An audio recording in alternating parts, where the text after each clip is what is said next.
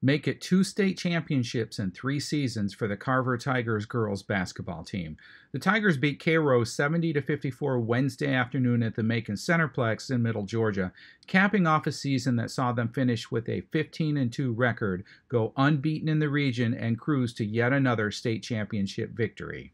The Tigers have now won five consecutive Region 2 4A championships. They've made at least the Final Four of the Class 4A basketball tournament in each of the past five seasons.